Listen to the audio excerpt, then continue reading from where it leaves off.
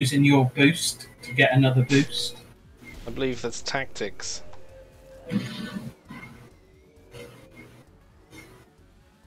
Leaving fellow players boostless. well, it, it's a tactic that works off, I must say.